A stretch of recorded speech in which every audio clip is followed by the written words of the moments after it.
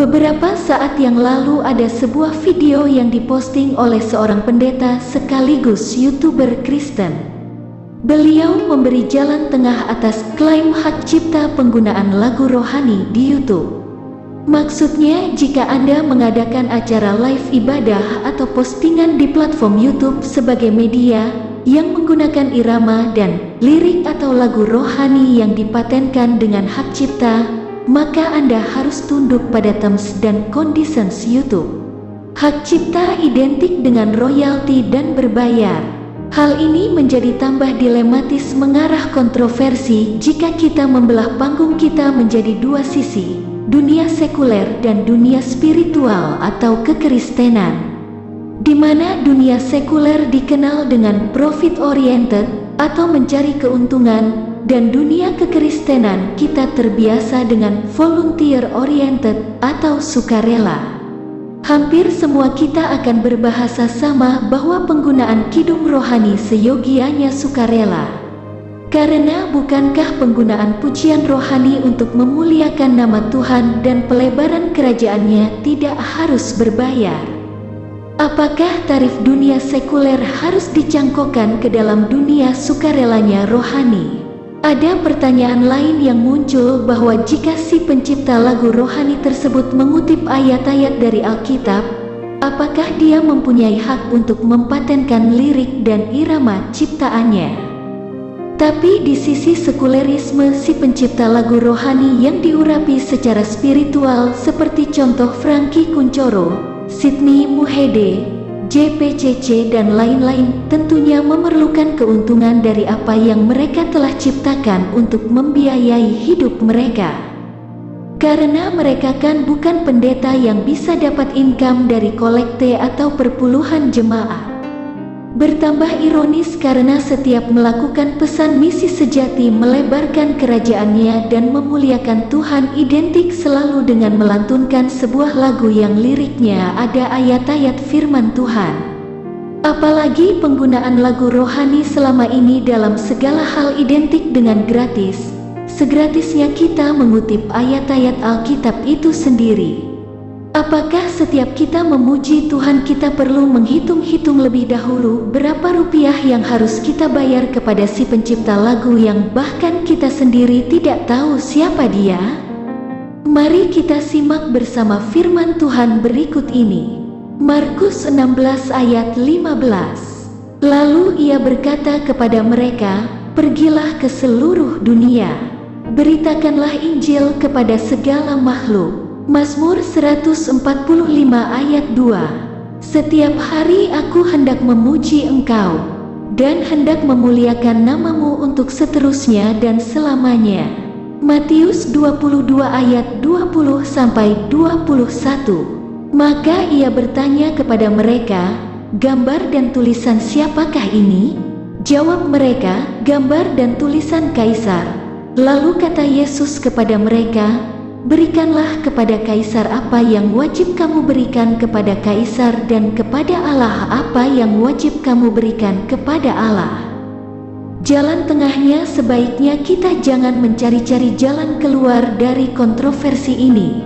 Tapi carilah jalan pikiran jernih kita sendiri yang bersumber dari Alkitab tentang hal ini.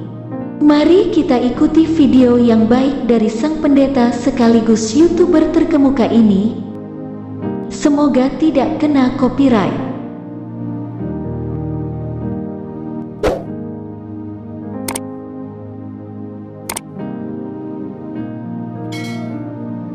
Nah, mulai hari ini dan seterusnya nanti saudara jangan kaget, akhirnya jadi polemik ya. Karena ya itulah saudara akhir zaman ya. Uh, tetapi saya mengajar di sini kita uh, berpandangan bijaksana. Termasuk dalam dunia YouTube dan saat ini para pemusik WL yang paham akan agak bingung. Dan banyak terutama yang nggak paham sama sekali namanya memuji Tuhan menyembah Tuhan. Lagu selama ini berpuluh tahun selama saya hidup itu kan bebas ya. Apalagi torang nggak kalau diajak suruh nyanyi lagu apa gitu ya kalau pas ibadah hampir semuanya pasti bisa. Apalagi dibantu dengan LCD sekarang nggak bebas lagi sudah karena Orang bisa pro dan kontra. Saya mau ngambil tengah untuk saling menghargai. Sekarang tidak bebas menyanyikan lagu. Apalagi saat ini kita live.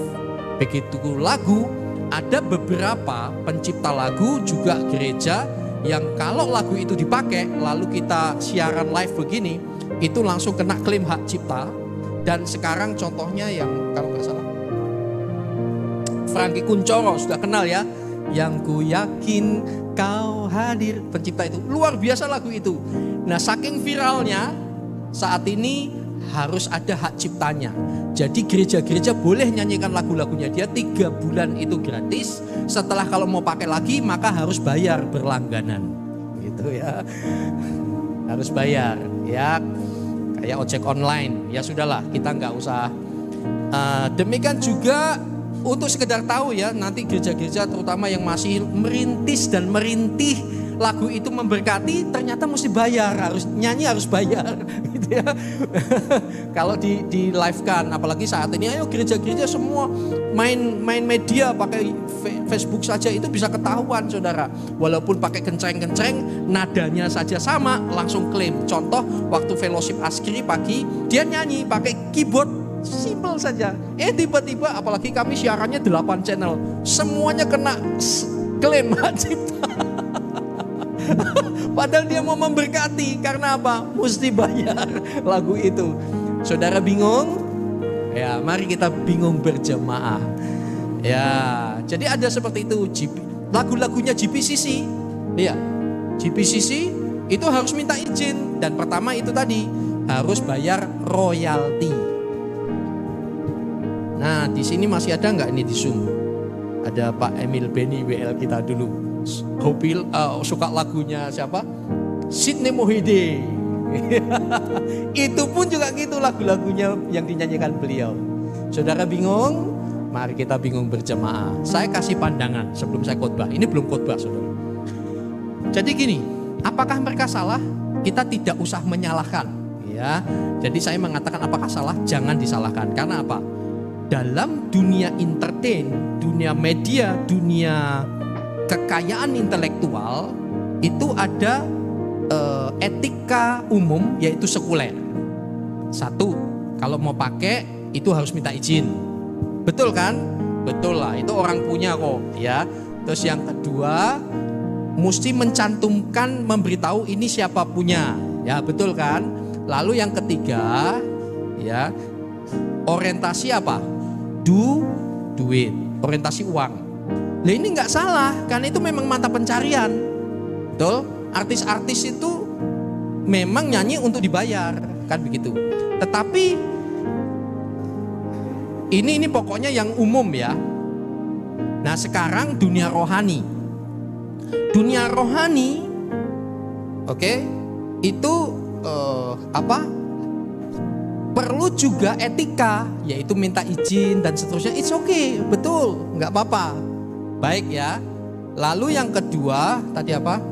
Hmm, mencantumkan nama, betul. Tapi yang ketiga orientasinya apa? Bukan uang, tapi berbagi. Ya, lebih bahagia memberi daripada menerima. Itu dalam dunia rohani. Nah, saat ini kalau Anda adalah rohani itu harus dipadu dengan sekuler itu betul. Karena banyak dunia rohani akhirnya tidak menghargai karya orang. So itu solusinya tadi kasih cantumkan nama. Tetapi kalau Anda menciptakan lagu itu untuk memberkati jemaat itu berarti public domain, milik publik. Setuju saudara ya? Dan itu harus sukarela. Seperti kalau ada ibadah, kalau mau memberi persembahan nanti silakan ada nomor rekening. Enggak ngasih ya enggak apa-apa, enggak ngasih juga saya tidak akan japri. kamu nonton kok kamu enggak ngasih? Enggak. Namanya persembahan.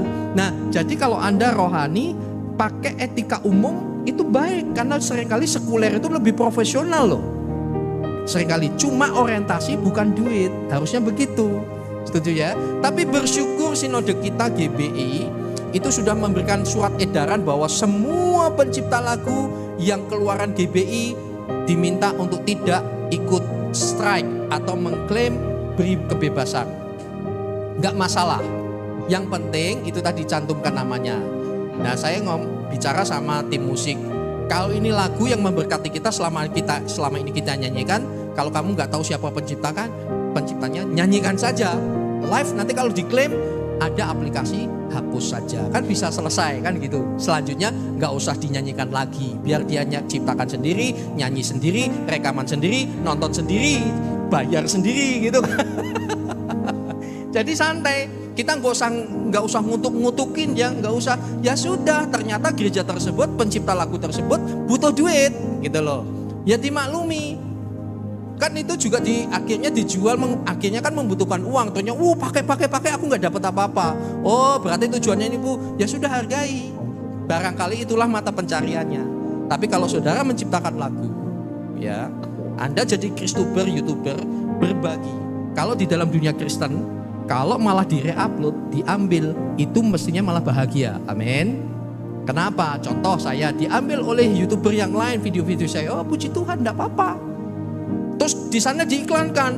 Di tempat saya nonton cuma seribu. Di Kanuru, di di di, di mana? Jaya Inspirasi yang 350 ribu subscriber dan seterusnya yang nonton itu puluhan ribu. Saya ikut senang. Itu harusnya seperti itu. Kalau Anda Kristen dengan demikian apa? Message pesan-pesan firman Tuhan yang saya sampaikan di sana tawannya jauh lebih banyak daripada di saya. Yang penting firmannya tersebar kan gitu. Oh diiklankan sana duitnya banyak. Puji Tuhan saya memberkati dengan tidak sengaja kan gitu. Pak Eri nggak dibagi, ya nggak apa-apa. Saya nggak marah, paling ya keterlaluan kamu. enggak, enggak. Saya serius, saya senang. Oke? Okay? Nanti saya ngobrol sama Pak Roni. Bagaimana orang ya tiba-tiba ada lagunya siapa gitu ya. Terus dia klaim, dia pikir ini laguku, Terus sementara kamu viralkan, saudara tahu nggak? Orang nonton ibadah kita itu bukan karena mau dengar lagumu. Betul nggak? Itu lagu itu pengantar ibadah. Ya, lagu pembuka dan lain sebagainya. Tapi intinya orang nonton ibadah kita, pertama yang dicari itu bukan lagunya siapa yang dia bukan. Firmannya, setuju? Saudara nonton Joel Austin, saudara nonton uh, siapa ibadahnya NDC atau siapa pun juga Lagu itu yang mempersiapkan hati untuk kepada firman. Jadi jangan GR gitu. Oke, jadi intinya seperti itu, jangan kecam, maklumi saja. Oh, berarti dia cipta lagu yang memang butuh duit sehingga harus diklaim. Tidak bisa sembarangan. Saat ini gereja-gereja rumahnya kecil, tidak usah bingung. Nyanyikan saja kalau nggak tahu. Eh tiba-tiba diklaim, ya sudah hapus, selanjutnya catat, tidak usah dinyanyikan lagi.